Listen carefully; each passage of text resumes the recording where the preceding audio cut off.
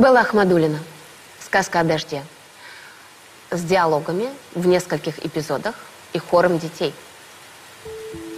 Со мной с утра не расставался дождь. «О, отвяжись», я говорила грубо. Он отступал, но преданно и грустно вновь шел за мной, как маленькая дочь. Дождь, как крыло, прирос к моей спине. Его корила я, стыдись, негодник. К тебе в слезах взывает огородник, иди к цветам, что ты нашел во мне. Меж тем вокруг стоял суровый зной. Дождь был со мной. Забыв про все на свете, вокруг меня приплясывали дети, как около машины поливной. Я с хитростью в душе вошла в кафе и спряталась за стол, укрытой нишей. Дождь под окном пристроился, как нищий, и сквозь стекло желал пройти ко мне. Я вышла, и была моя щека наказана пощечиную влаги. Но тут же дождь в печали и отваге омыл мне губы запахом щенка. Я думаю, что вид мой был смешон – Сырым платком я шею обвязала, дождь на моем плече, как обезьяна, сидел, и город этим был смущен. Обрадованный слабостью моей, дождь детским пальцем щекотал мне ухо.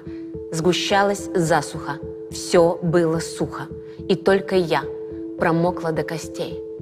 Но я была в тот дом приглашена, где строго ждали моего привета, где над янтарным озером паркетов сходила люстре чистая луна. Я думала, что делать мне с дождем. Ведь он со мной расстаться не захочет. Он наследит, там он ковры намочит. Да с ним меня вообще не пустят. В дом я толком объяснила. Доброта во мне сильна, но все ж не безгранично. Тебе идти со мною неприлично. Дождь на меня смотрел, как сирота. «Ну, черт с тобой!» — решила я. «Иди! Какой любовью на меня ты пролет!» Ах, этот странный климат, будь он проклят! Прощенный дождь запрыгал впереди. Хозяин дома оказал мне честь, которой я не стоила. Однако, промокшая всей шкурой, как андатра, я у дверей звонила ровно в шесть. Дождь, притаившись за моей спиной, дышал в затылок жалко и щекотно. Шаги, глазок, молчание, щеколда. Я извинилась. Этот дождь со мной. Позвольте, он побудет на крыльце. Он слишком влажный, слишком удлиненный для комнат. Вот как, молвил удивленный хозяин, изменившийся в лице. Признаться, я любила этот дом. Здесь свой балет всегда вершила легкость. О, здесь углы не ушибают локоть, здесь палец не порежется ножом. Любила все, как медленно хрустят шелкохозяйки, затененные шарфом, но более всего плененный шкафом мою царевну спящую, хрусталь. Тот, в семь румянцев, разовевший спектр в гробу стеклянном, мертвый и прелестный, но я очнулась. Ритуал приветствий, как опера, станцован был и спет. Хозяйка дома, честно говоря, меня бы не любила непременно. Но робость поступить несовременно чуть-чуть мешала ей, что было зря. «Как поживаете?» О, блеск грозы, смиренный в слабом горлышке гордячки. «Благодарю», — сказала я. В горячке я провалялась, как свинья в грязи. Со мной творилось что-то в этот раз. Ведь я хотела, поклонившись слабо, сказать «живу, хоть суетно, но славно». Тем более, что снова вижу вас. Она произнесла «я вас броню». Помилуйте, такая одаренность сквозь дождь и расстояние отдаленность вскричали все к огню ее, к огню! Когда-нибудь, во времени другом. На площади среди музыки и брани мы свидимся опять при барабане, вскричите вы в огонь ее, в огонь за все, за дождь, за после, за тогда, за чернокнижье двух зрачков чернейших, за звуки с губ, как косточки черешин, летящие без всякого труда. Привет тебе.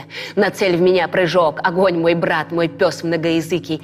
Лежи мне руки в нежности великой. Ты тоже дождь, как влажен твой ожог. Ваш несколько причудлив монолог проговорил хозяин, уязвленный. Ну, впрочем, слабо поросли зеленые, есть прелесть в поколении молодом. Не слушайте меня, ведь я в бреду, просила я.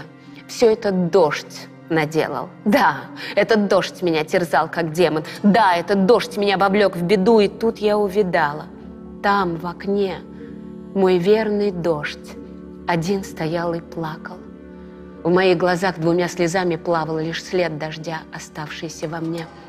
Одна из гостей, протянув бокал, туманная, как голубь над карнизом, спросила с неприязнью и капризом, «Скажите, правда, что ваш муж богат?» Богат ли муж, не знаю, вполне. Но он богат, ему легка работа. Хотите знать один секрет? Есть что-то неизлечимо нищее во мне. Его я научила колдовству, во мне была такая откровенность. Он разом обратит любую ценность в круг на воде, в зверька или в траву. Я докажу вам, дайте мне кольцо. Спасем звезду из тесноты колечка. Она кольца мне не дала, конечно, в недоумении отстранив лицо. А знаете, еще одна деталь. Меня влечет поддохнуть под забором. Язык мой так и воспалялся вздором. Да, это дождь твердил мне свой диктант. Все, дождь, тебе припомнится потом. Другая гостья голосом глубоким осведомилась. Одаренных Богом кто одаряет и каким путем?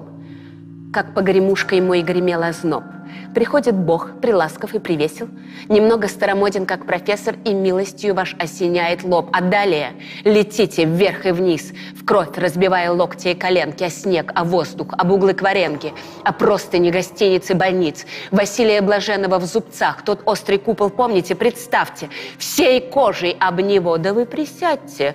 Она меня одернула в сердцах. Тем временем для радости гостей творилось что-то новое, родное. В гостиную впускали кружевное серебряное облако детей. «Хозяюшка, прости меня, я зла, я все лгала, я поступала дурно.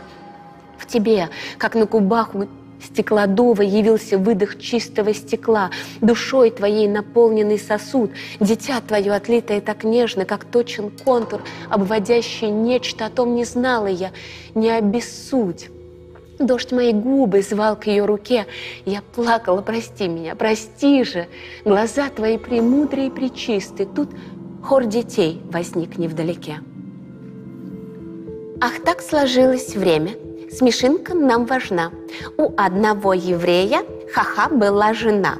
Его жена корпела над тягостным трудом, чтобы выросла копейка величиною с дом. О, капелька металла, созревшая как плод, ты солнышком вставала, украсив небосвод. Все это только шутка, наш номер, наш привет.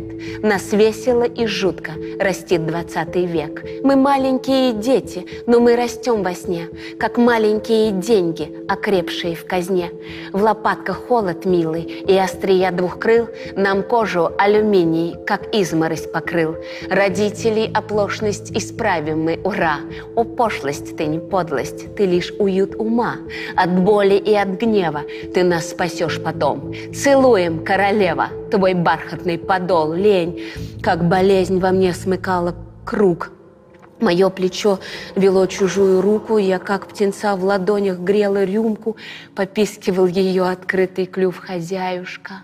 Вы ощущали грусть над мальчиком, заснувшим с позаранку в уста его в ту алчущую ранку, отравленную проливая грудь.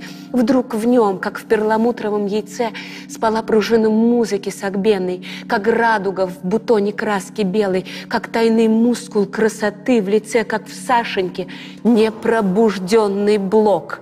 Медведица — вот для какой забавы в детеныши влюбленными зубами выщелкивали Бога, словно блох. Хозяйка налила мне коньяка. Вас лихорадит. Сядьте у камина. Прощай, мой дождь. Как весело и мило принять мороз на кончик языка. Как крепко пахнет розой от вина. Вино лишь ты ни в чем не виновата. Во мне расщеплен атом винограда. Во мне горит двух разных роз война. Вино мое, я, твой заблудший князь, привязанный к двум деревам склоненным, разъединяй. Не бойся же со звоном, меня со мной пусть разлучает казнь. Я делаюсь все больше, все добрей. Смотрите, я уже добра, как клоун. Вам в ноги опрокинутый поклоном. Уж мне тесно средь окон и дверей. О, Господи, какая доброта! Скорее жалеть до слез, пасть на колени. Я вас люблю. Застенчивость калеки бледнит мне щеки и кривит уста. Что сделать мне для вас хотя бы раз? Обидьте, не жалейте, обижая. Вот, кожа моя голая, большая, как холст для красок, чист простор для ран. Я вас люблю без меры, без стыда, как небеса круглые мои объятия. Мы из одной купели, все мои братья. Мой мальчик дождь, скорей, иди сюда. Прошел по спинам легкий холодок, в тиши раздался страшный крик хозяйки, и ржавые оранжевые знаки вдруг выплыли на белый потолок. И хлынул дождь!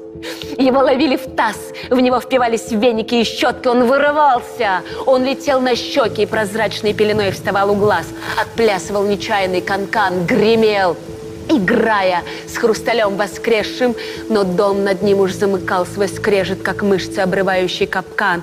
Дождь с выражением ласки и тоски паркет морая полз ко мне на брюхе. В него мужчины, подымая брюки, примерившись, вбивали каблуки. Его скрутили тряпкой половой и отжимали, брезгуя в уборной. Гортанью вдруг осипшей и убогой кричала я «Не трогайте!» Он мой. Дождь был живой, как зверь или дитя. О, вашим детям жить в беде и муке, слепые, тайн не знающие руки, зачем вы окунули в кровь дождя?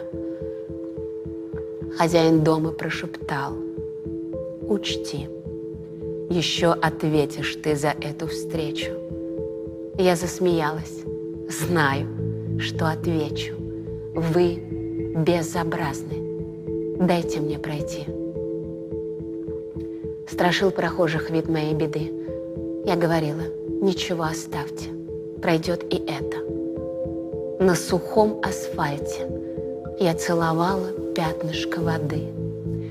Земли перекалялась нагота, и горизонт в круг города был розов – Повергнутое в страх бюро прогнозов осадков не сулило никогда.